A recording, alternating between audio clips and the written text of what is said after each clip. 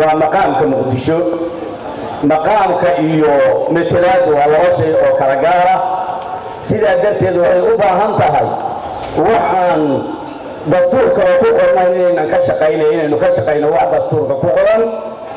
Maqaamka marka la leeyahay wuxuu noqonayaa meesha waxaa degan hay'adihii dastuuriga ahaa ee dowladda. Waxaa degan isla gobolkii banaadir. Waxaa degan caasimadii sidee bay ugu wada shaqaynayaan? Intaasi sidee bay ugu wada shaqaynayaan? Administration ahaan intaasi sidee bay ugu wada shaqaynayaan? Sidee bay security-ga uga wada shaqaynayaan? Sidee bay maamulka uga wada shaqaynayaan? Waxa ay ahayd maxay yeelanaysaa caasimaddu oo maamula oo u gaara oo dowladda ka baxsan? Dowladda dhexe ka baxsan. Waxaan is leeyahay in laga shaqeeyo taasay ahayd halka laga shaqaynayo matelaad oo aan aaminsanahay matelaad iyo maqaam inay kala duwan yihiin. Waxaan qabaa qodobka labaadna waxa weeye qodobka matelaadda matelaadda oo la yidhahdo xuquuqda uu yeelanayo deegaannimo oo dadkaasi ay yeelanayaan. Xuquuqda deegaannimona waxaa laga soo bilaabayaa lixdankii wixii ka horeeyey wixii deganaa mise waxaa lagu salaynayaa lixdankii ilaa sagaashankii mise waxaa lagu salaynayaa sagaashan iyo kowdii wixii loo gaaray saddex deegaan oo kala gaara wey keebaa lagu salaynaya iyadaa su'aal u baahan. Waxaa su'aal u baahan waxaa lagu sameeyey siday guddidu soo tilmaantay qodobka la yidhaahdo toddobaatan iyo laba waa lagu saleeyey haddii aad tidhaahdo toddobaatan iyo laba lagu salayn maayo oo dastuurka meersan kuma laha. Haddii aad tidhaahdid oo dastuurka la baalmaraya oo waxbaan ku keensanaya anigu waxaan qabaa constitutional crisis inaynu gelayno. Waxaan aaminsanahay constitutional corruption inuu ahaanayo. Haddaynu nahay innagu dadkii sharci dejiyaasha ahaa uma horseedi karno ummadda soomaaliyeed wax aan sharci ahayn.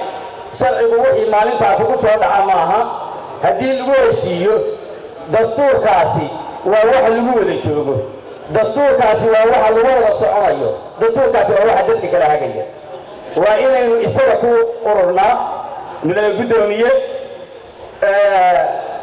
waxaan aaminsanahay haddii ay noqoto in la aado halkaa inay daruuri tahay in la aado sidii dastuurka loo furi lahaa.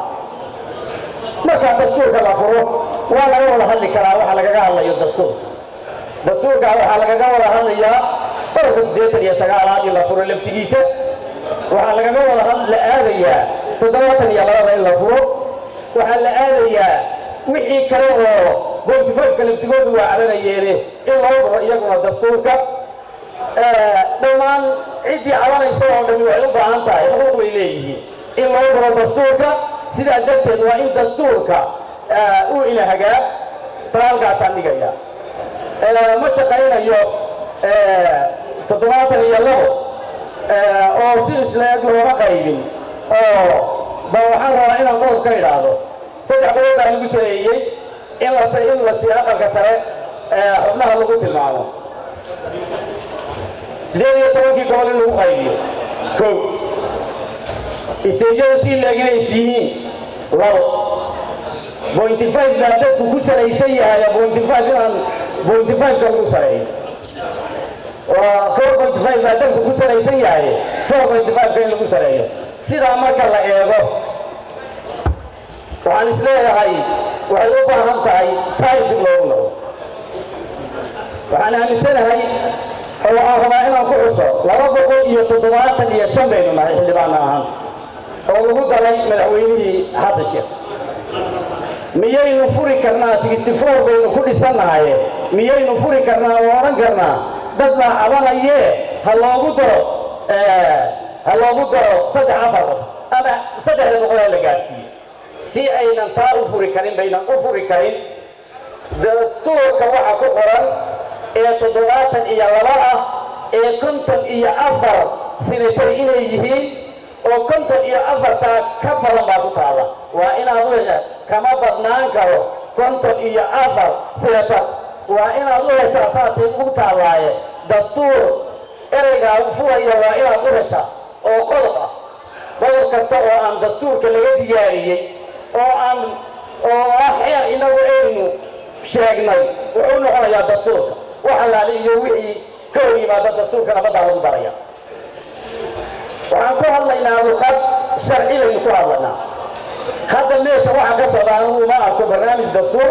Waxaan u arkaa barnaamij siyaasadeed oo dadka qaar u fekereen oo u shireen.